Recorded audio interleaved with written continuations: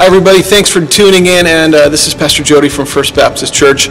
Welcome to Set for Sunday. We have February the 1st in view. Only a few days we're going to be gathering together again as God's people. And we want your heart to be ready. You can see that I'm standing in front of a very interesting backdrop. And uh, no, I'm not outside somewhere where the grass is still green. I'm actually at the front of the auditorium. And uh, we are also hosting a men's conference this weekend. So Friday, Saturday, uh, many of you men are going to be coming and joining us for that.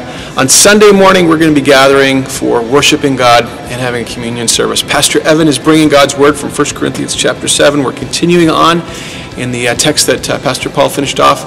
Pastor Evan's going to be starting at uh, chapter 7, verse 14, right through the end of the chapter. And uh, we're going to be learning what it means to be content in the circumstance, in the situation that God has called us to be in.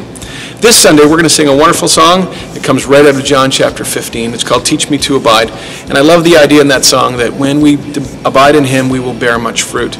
And so we want to do that. We want to worship God, and we want our lives to be changed and transformed through our singing. And we're going to be coming to the Lord's table.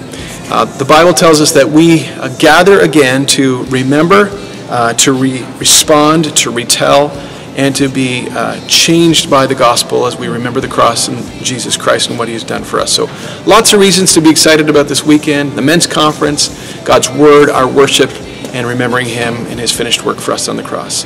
Hope to see you soon. Let's get set for Sunday.